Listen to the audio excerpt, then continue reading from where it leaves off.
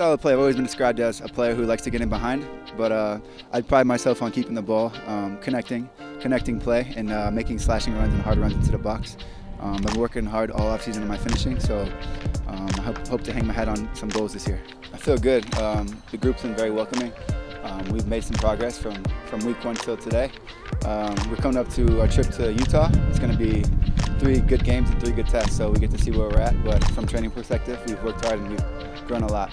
The ideologies that coaches, uh, Coach Koch is giving us is, is, something that intrigued me in the offseason. I met with him, and um, going forward, I think we have an exciting group. Everybody put together has, has talent, so uh, it's up to us to work hard this, this preseason and show the league what we have.